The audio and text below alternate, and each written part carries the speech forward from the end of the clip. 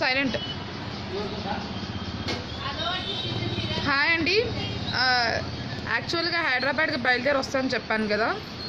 సడన్గా రేపు మన పవన్ కళ్యాణ్ సార్ నిరాదీక్ష చేస్తున్నారు చేస్తున్నాడు కదా శ్రీకాకుళం జిల్లాలో.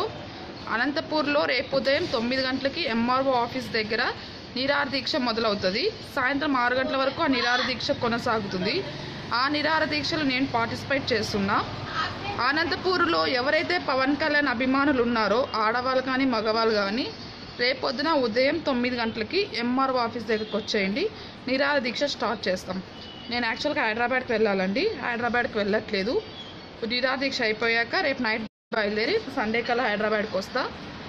ఎవరైతే పవన్ కళ్యాణ్ అభిమానులు ఉన్నారో హైదరాబాద్ అనంతపూర్లో వాళ్ళందరూ రేపొద్దున తొమ్మిది గంటలకి ఎంఆర్ఓ ఆఫీస్ దగ్గరికి వచ్చేయండి.